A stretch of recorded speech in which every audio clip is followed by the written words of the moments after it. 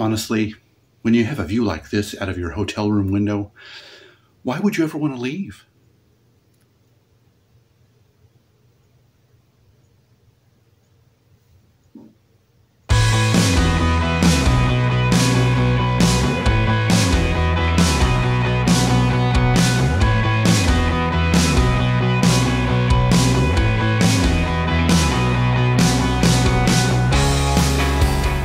One and all, and welcome to Tom's Hit Parade. How y'all doing out there? I'm doing pretty well, I have to say. I feel uh, rejuvenated, recharged, for the most part, from a whirlwind vacation uh, that I had. I mean, technically speaking, I still have a couple days left of my actual vacation before I have to go back to work. But yes, we had a delightful four and a half day visit from my very close friends, my little brother Noah and my little sister-in-law Alyssa came out here from Oklahoma to spend a few days, uh, and they they were so nice to do this. They've got some stuff going on, just some uh, not really trauma, traumatic stuff, just kind of life stuff, uh, and they decided in the midst of it they would still take the time to come out and pay us a visit. Uh, that's one reason why it was so as short as it was, was because they've got stuff going on, and so bless their pea picking hearts, they still uh, made the time and effort and expense to come out and visit us because uh, Noah has wanted to do it for a long, long time. And so has Alyssa with her um, uh, veterinary medicine studies uh, focusing on marine biology. If you're going to study marine biology, the Oregon coast is one of the premier uh, spots to get some, some field work in, some uh, firsthand knowledge. So yes, uh, I'll tell you all about what we saw and did coming up in just a minute here. But yes, um, there's going to be quite a few videos coming your way because uh, with me and Noah being me and Noah, uh, we did plenty of uh, record store shopping. Uh, as you can imagine, uh, we focused on CDs because uh, mainly because he was not too keen on the idea of having to package up records for a flight, you know, for, for airline travel, or having to bother to mail stuff back home. But then that became a moot point. I'll, I'll, I'll just let that be what it, what it is. Um, so yeah, we focused on CDs, but and uh, I will uh, give you a, at least two, actually three haul videos coming up. Yes, there are going to be three of them. They're going to be, I'm not going to make them very long because if I'm going to give you a whole series of videos, I'm going to try to make them a little more compact, a little more bite-sized chunks for you. But yes, Noah and I filmed a couple of haul videos as well as just a, a kind of an unrelated video because we were both in the same place. I wanted to film a video for uh, National Best Friends Day, this will be dropping on June 8th, which is National Best Friends Day. So that'll probably drop in the middle of this series of uh, Noah and Alyssa vacation videos. Uh, so yes, I, I, was going to do uh, my whole final haul video wrapped up in with this vacation uh, recap, but I decided it was going to be too long of a video, so splitting up, up into two parts. I'm going to do part of my haul in this video. The rest of it will be its own video. Uh, yes, I tried to uh, up my vlog game uh, with this trip. I took a bunch of uh, videos and still pictures of our goings-on, what we saw and did over the course of uh, their visit here. So my plan is to intersperse clips of that stuff, little montages, in between the, um, the narrative that I'm doing here now. So uh, Hope you sit back and enjoy and uh, have a great time with this. So yes, Noah and Alyssa flew in to Portland on Saturday morning. Uh, we drove up there, picked them up, and brought them back down to Eugene, the Eugene area. Uh, Sunday, we basically just poked around the Eugene area. I took them on a little walking tour of the University of Oregon campus. That's a fairly big attraction in Eugene. Uh, and we also went to the Museum of Natural and Cultural History, which is right along the, uh, right just adjacent to the U of O campus. It's a great museum. I was there years and years ago, probably 15 or 20 years ago, so I my memory of it was very foggy. So uh, it was lots of fun to visit that museum again. I enjoyed it a lot more than I, I, I wasn't into museums back in the day. I'm not exactly yay museums now, but uh, I'm more appreciative now of the their educational capacity and uh, just the stuff that you learn in general with uh, museums. And uh, one of the fun things about the museums in the Pacific Northwest, I know that it may be this way in other parts of the country as well, is they all try to put some kind of an emphasis or uh, you know some kind of a perspective from the Native American viewpoint so, and that was a theme within pretty much every museum and attraction we visited while they were here. And an, another recurring theme is stuff that I either have not done in years and years or have never done, despite having lived in Oregon for almost three decades. But anyway, uh, that I will uh, will reveal itself as we go on. But yes, after the Museum of Natural and Cultural History, uh, we went and had lunch at a little uh, another uh, adjacent to campus in the opposite corner, a little uh, lunch hangout that uh, a lot of uh, the university community frequents as well. it's called Rennie's, some great food there. And then, of course, with as I said, with me and Noah being me and Noah, we had to start hitting up the record stores. we went to House of Records and Epic Seconds, both here in Eugene, the, the record stores that I talk about all the time in my videos, and we had time for not just one but two of the St. Vinny's thrift stores. And uh, I gotta say, Alyssa, Noah's wife, is endlessly patient with him. He picked a heck, one heck of a uh, a catch with uh, uh, holding on to Alyssa because she has boundless patience with him and his uh, tendency to want to browse forever in record stores. Uh, she was very, very patient. Uh, love you, Alyssa. That's just one of the many reasons we we all love you. and but she did have stuff to look at in the St. Vinny's thrift stores. They all have a pretty darn good book section. She loves books, so she went and browsed the books while Noah and I browsed the CDs. So, yes, a great time had all around, but as I mentioned, our Eugene haul will be in uh, one video. That'll probably be the next video, depending on. I plan on doing putting the videos out every other day. So I'm probably not going to do them consecutive days. So depending on when June 8th falls in my release schedule, uh, the Portland, the uh, Eugene haul will be our next video. Uh, so after uh, that was Sunday, on Monday we went out to the Oregon coast, and uh, it's uh, someplace that uh, we haven't been during my the first couple of decades of when we lived. We moved to, to Oregon. We made it out to the coast at least every other year. Uh, it's been two or three years since we've been out to the coast, my family and I. So it was lots of fun to head out there and the first thing we visited was the Sea Lion Caves, just north of Florence, Oregon. That is a great attraction, uh, one of the biggest, if not the biggest, natural sea cave in the world, or at least I think it's the biggest in the states, anyway. Uh, but yes, lots of fun. It is basically a an open to nature um, uh, exhibit, if you can call it that. Uh, well, it, it's got a, a vantage point carved into the rock as, as, as much of an exhibit as it is. But yes, it's where sea lions like to hang out. Uh, at the time we were there, they weren't hanging out very much in the cave itself. Uh, we only spotted one or two in there. But uh, as for the rest of them, they were out on what's called the rookery, which is basically uh, a rock on on the open sea, just out, you know, uh, the sun shining on them. They were out there sunning themselves, and uh, you know, the circle of life, Hakuna Matata, whatever you call it. They were looking for mates, and they were they were roaring up a storm. You could hear them we must have been 150 feet up above the rookery rocks, but you could hear them loud and clear.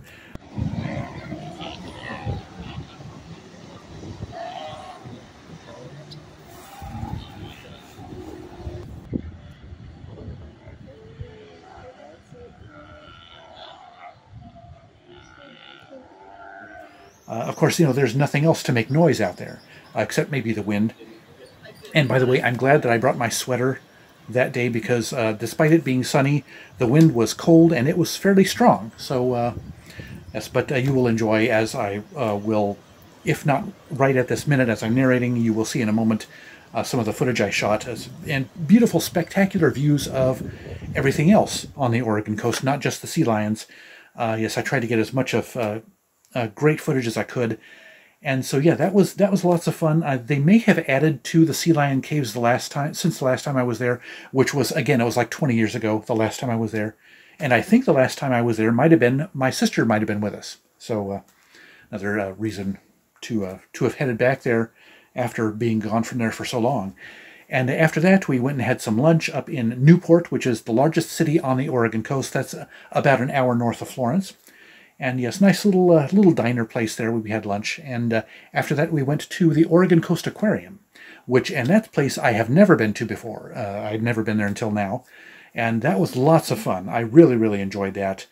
And of course, as you can imagine, uh, this was probably Alyssa's favorite day of the entire trip. Uh, as they've both uh, have told me, any trip having to do any you know any attractions having to do with animals, they are totally on board with. So I was happy to uh, let that stuff dominate their visit out here because the visit was all about them.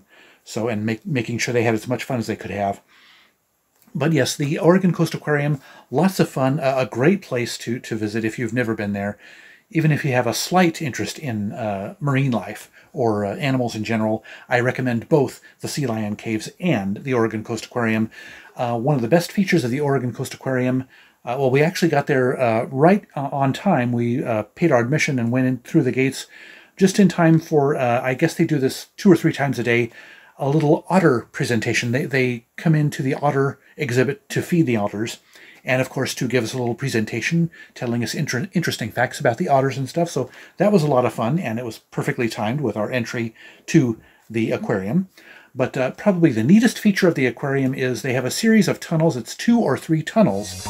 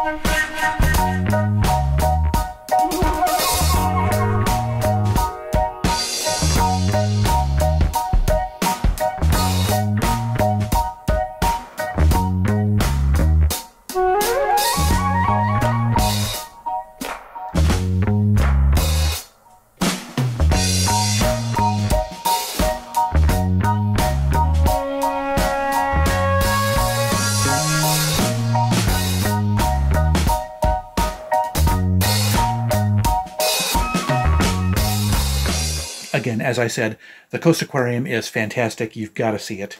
Um, if you're anywhere near the Oregon coast, which includes if you're in Portland or Eugene, you're close enough. It's only about an hour out to the coast.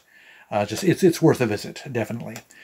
And then uh, so that was uh, Monday. Uh, we decided we had to come back uh, fairly. We tried to get back as early as we could because we had a uh, kind of an early rise the next morning, Tuesday morning, because we wanted to get to Portland in time to enjoy as much of the day as possible. But yes, excuse me.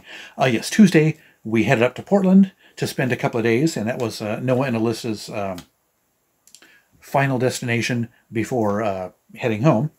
And yes, uh, on Tuesday when we got there and got settled in, we went to the Oregon Museum of Science and Industry, and again, a place that I have never been to before, uh, before now. Lots of fun, and as luck would have it, their primary featured exhibit was on orcas, killer whales. So that was right up Alyssa's alley. She loved it, and, and I actually really enjoyed it too. Noah and I also enjoyed it a lot. I learned a lot about uh, orcas that I had never known before. And of course, they had one um, segment of the exhibit was about uh, orcas featured in pop culture, movies and TV and such. And of course, they had Free Willy. They had a, a, a little, uh, uh um, what do you call it, a little exhibit uh, uh, talking about Free Willy and stuff. And the uh, orcas that ha- had been captured and trained for the uh, uh, marine parks like SeaWorld and, and such. So it's kind of kind of delved into the darker side of uh, of humans' fashion, fascination with orcas. So uh, you know, it's kind of you got to take that with the whole package, I guess. But anyway, uh, before continue rambling on too much, I guess a great place, and they had several other different exhibits as well lots of interesting stuff at the Oregon Museum of Science and Industry. Uh, another highly recommended attraction if you uh, make it up to Portland.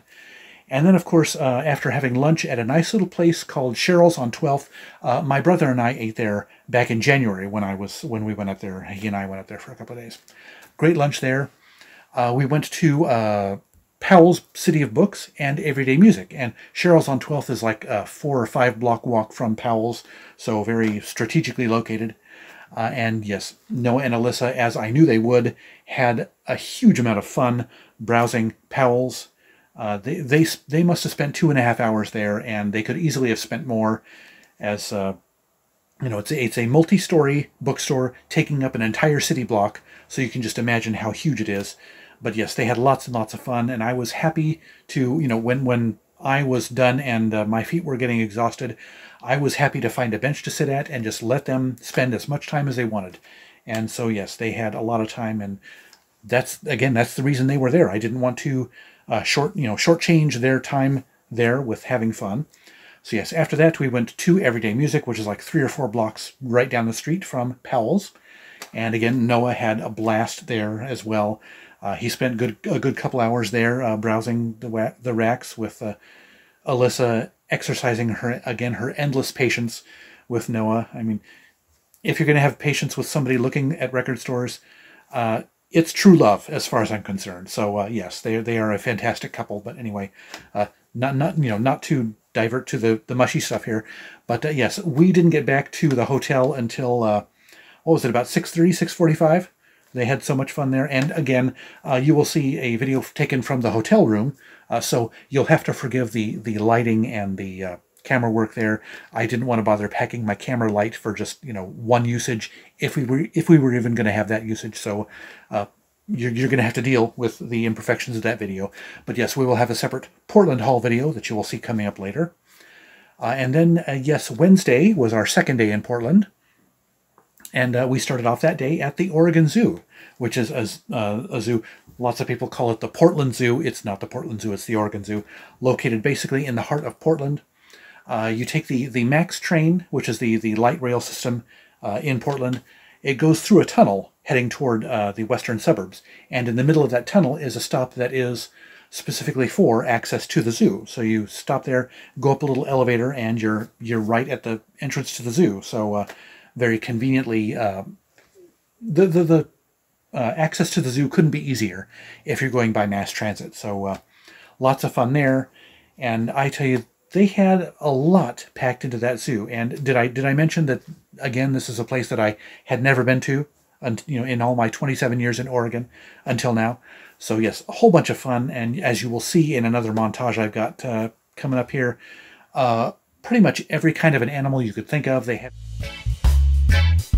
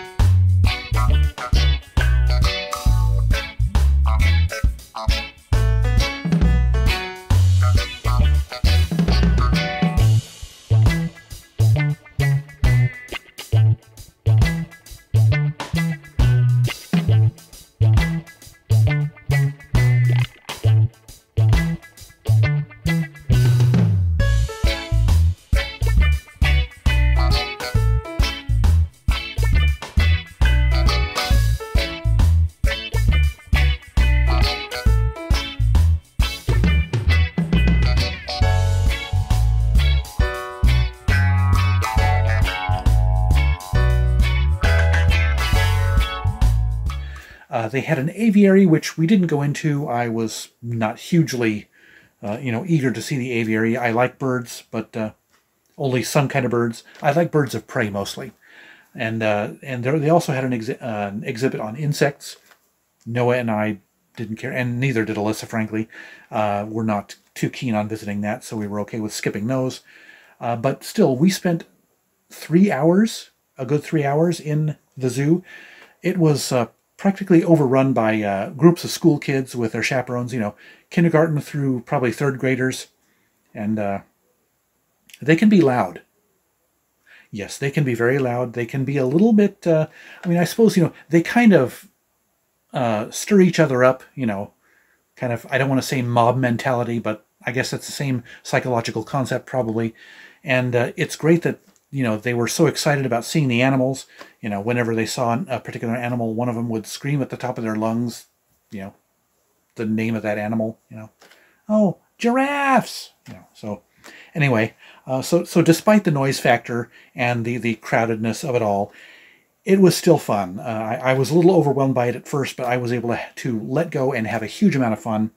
A nicely laid out zoo as well. Uh, they have a big uh, open grass grassy courtyard, kind of like a, an amphitheater, right in the middle of the zoo, and the weather was wonderful. So you could get uh, there were you know little uh, snack food places all around that uh, open area, so you could get uh, concessions and have a little picnic lunch there on that grass or and all sorts of kids were out playing on the grass and stuff. So you know it was a great day for everyone not just for me and noah and alyssa but for everyone.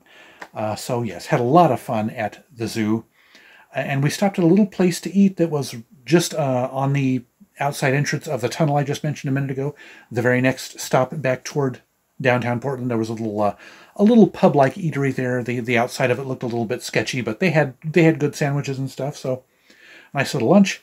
And then uh, we tried to go to the um, Oregon Jewish Museum and Center for Holocaust Education, but unfortunately it was closed for renovations. So, and that was one of the things that was on our list that uh, Noah and Alyssa really wanted to see. So, unfortunately, darn the timing of that didn't happen. Uh, but uh, so um, as kind of as a consolation prize for that, um, I don't I don't know if I mentioned, but in Eugene, we stopped at a Salt and Straw, which is uh, it's an ice cream parlor. Got its start in Portland, and it's it's a regional thing, I think. Uh, they make some kind of uh, artisan flavors of ice cream. Some of them are kind of questionable, but uh, had a great time uh, with the Salt and Straw in Eugene. So I decided to get us uh, to treat us all to Salt and Straw again up in Portland as kind of a as I said, a consolation for missing out on the museum, the uh, Jewish and Holocaust Museum. Uh, but after that, we went to Music Millennium, of course, had to go to Music Millennium again. Uh, well, the first time for Noah. And of course, uh, that store is my favorite because of the atmosphere. Uh, uh, Everyday Music is a little more budget friendly, but Music Millennium has the atmosphere leaps and bounds beyond Everyday Music. And uh, yes, again, Noah had lots of fun there. And uh, and again, you will see our Portland haul uh, in um, a video coming up, as I mentioned a couple of minutes ago, covering both Everyday Music and Music Millennium. So yes, lots of fun to be had there. These videos are going to be massive. We're just too chatty.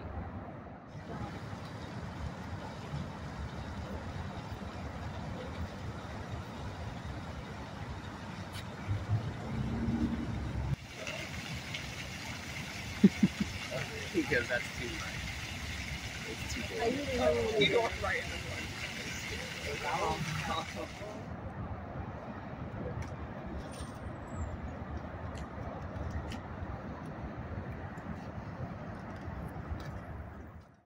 And uh, then, unfortunately, that night, um, Noah and Alyssa had to fly home out of Portland.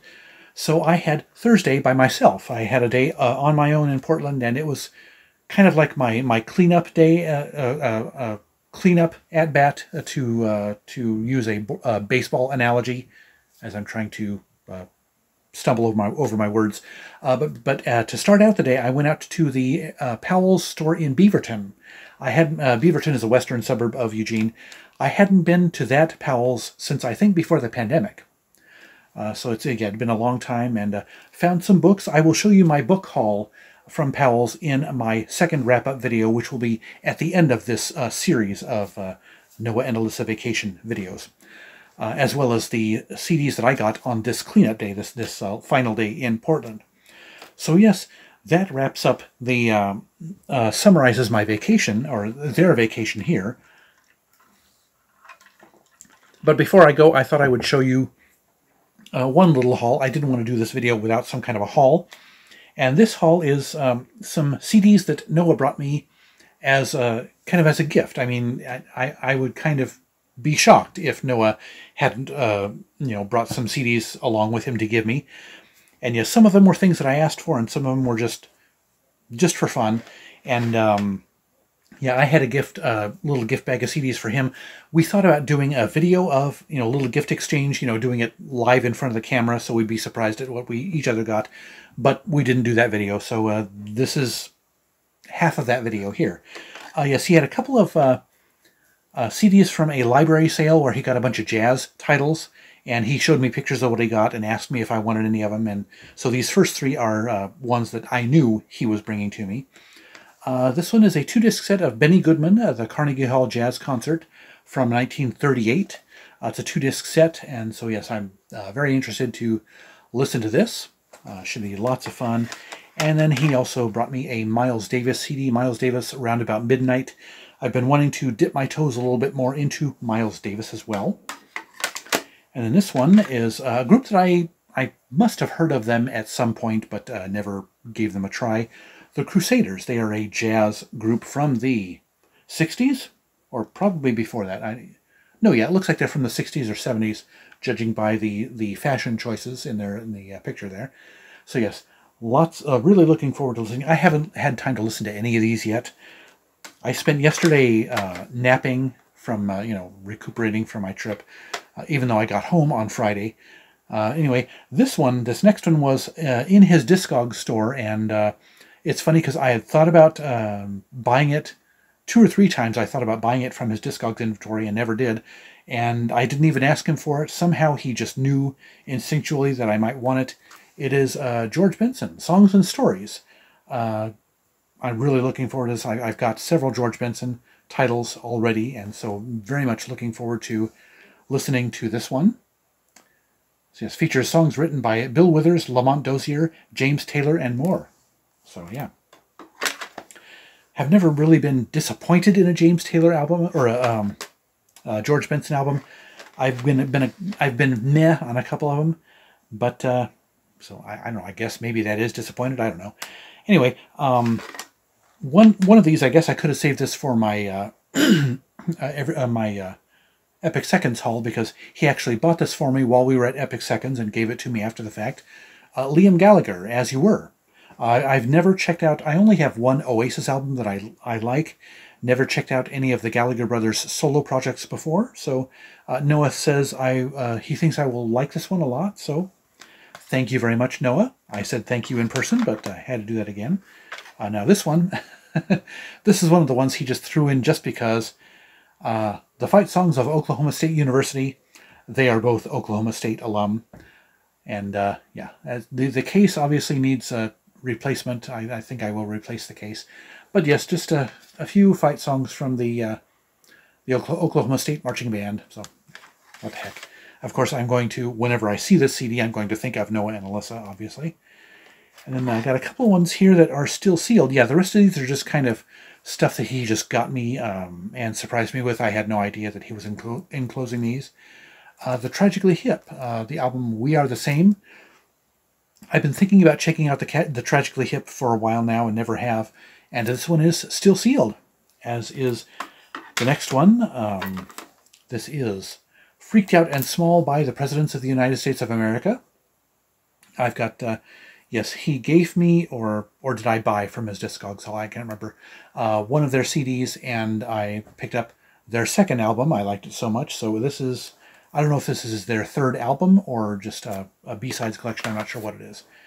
Uh, and then another one that he thinks I will like that I've uh, never tried out before is uh, Roger Roger Waters.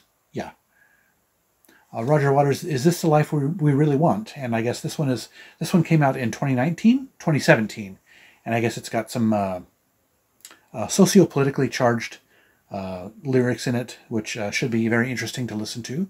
So yes, I'm looking forward to hearing this one, as I am to all of them. And then we have a band called the Jezebels. This is a five five track uh, EP. I am not familiar with the Jezebels, and so he just kind of threw this one in. Uh, a few of these just just for the heck of it to see if I would like them or not. And that is the case with a band called the Nadas. We listened to, to this one in the car. Uh, well, we sort of listened to it. We were talking most of the time. Uh, and so I didn't get a great listen to it. It's um, It did not grab me right off the bat, so I kind of have a feeling this will not be a keeper in the long run, but we'll see. And then this one, I can't remember if he said he bought this one for me at one of the thrift stores while we were out, out and about, or if he brought this one to me, um, you know, from Oklahoma. This is Digital Ash in a Digital Urn by uh, the Bright Eyes. Uh, I've never checked out a Bright Eyes album before, so uh, this will be interesting. An, an interesting uh, case. Yeah, you can, uh, even out of the case, you can barely see the uh, cover art on that one. And he also put in threw in a Weezer CD single, Hash Pipe, and it's got a couple of B-sides he says were are pretty good, so yeah. Uh, won't turn down a Weezer CD. Uh, well, I won't turn down anything from Noah. And uh, this last one, though, is interesting because uh, it took him bringing this to me and me looking up the artist to realize that this guy uh, was born and raised in Portland, Oregon. Uh, Todd Snider. I never heard of the guy. I, mean, I, I may have heard of him at some point, but have never checked out his music. So, and I am that is something I am woefully neglectful of is checking out local artists or artists who are from the local area. I just, for some whatever reason, I just never do that. So uh, I will. I look forward to listening to this one, and I actually anticipated maybe liking this one. That uh, you will see in one of my hauls. I picked up his sophomore album I found in the the budget bin. So, so I've got two Todd Snider CDs to check out, and hopefully I will enjoy them. And gosh, I to told you at the beginning that I wasn't going to make these videos very long, but this video is already half an hour long. So, uh, yes, that is my uh, gift haul from Noah. Thank you very, very much, Noah, for all of those CDs. I am looking forward to listening to them. Uh, hopefully, I will get around to all of the truckload of uh, CDs and stuff that I brought home from our trip uh, before too too terribly long. Uh, I, I'll see if I can make these a priority. So that'll do it for my vacation recap for May and June of 2023. I hope you enjoyed this video. If so, hit that like button and share it with your friends and give me your thoughts, questions, suggestions, or constructive criticisms in the comment section below. Also scroll down to the description for the links to my Twitter and Instagram feeds and links to my favorite fellow YouTubers who are all worth checking out. And don't forget to subscribe to my channel if you haven't yet and browse my past videos, and be sure to ring that notifications bell so you'll be the first to know each time I drop a new video. Otherwise, thank you so much for watching, I'll see you next time, and remember, life's too short to be a music snob,